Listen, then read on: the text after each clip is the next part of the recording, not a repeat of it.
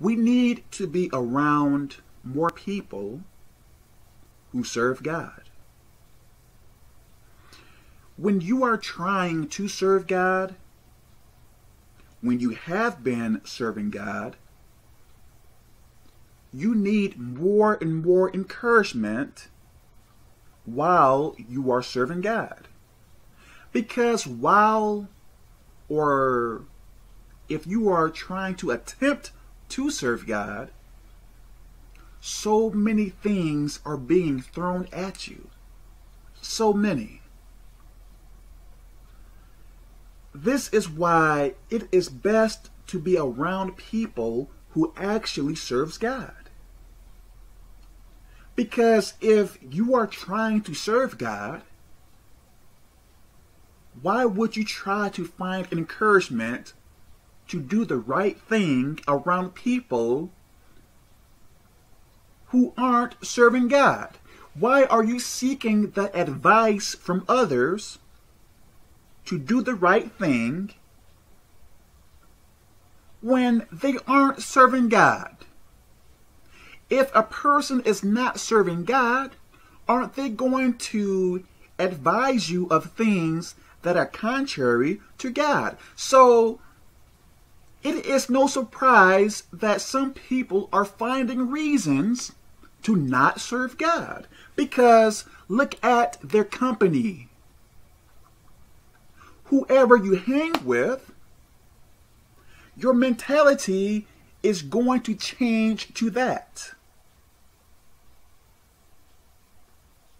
Listen, one good way to know how you are,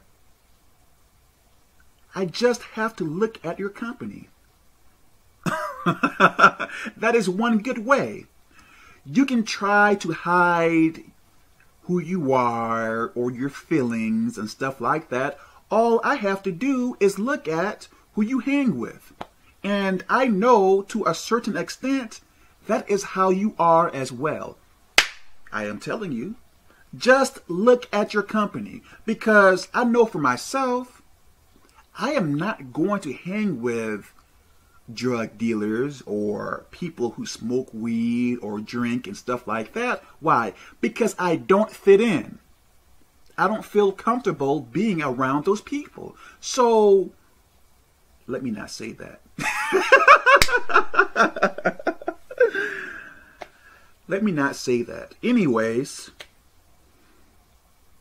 you need to be around people who serves God. Because by doing that, listen, there is a person that I can speak to about God for hours. For hours. And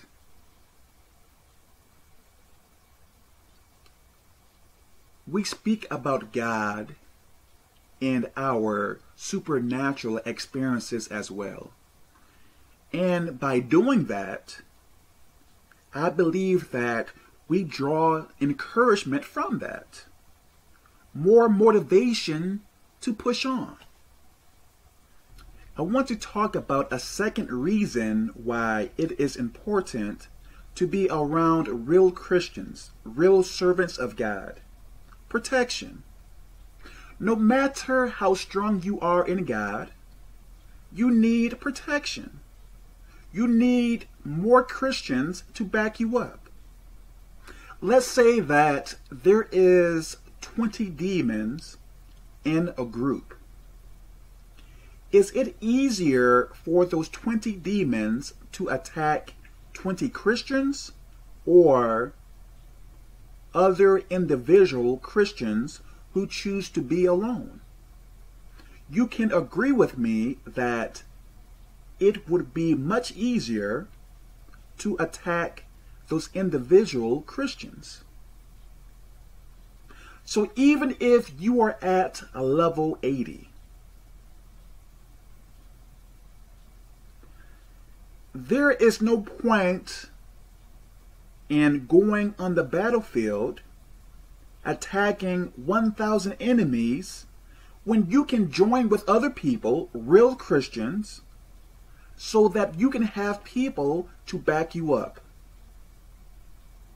Why get so many wounds and scars and injuries when you can have other people to pray with you and read the Bible with you and do more things of God with you. You are better and stronger in a group of like minded people. Keyword like minded people who serves God. Not this lukewarm stuff. So I pray that this makes sense. So we need protection and we need encouragement. No matter how strong you are in God, and while I am saying this, I am guilty of this because sometimes I choose to not be around other Christians. And you may say, well, there aren't too many people who serve God. That may be true, but we need to be actively trying to join with other believers or real servants of God. So, protection and encouragement. You really do need encouragement. No matter how smart or wise you are, you need encouragement. Believe me. So let me stop here. God bless you.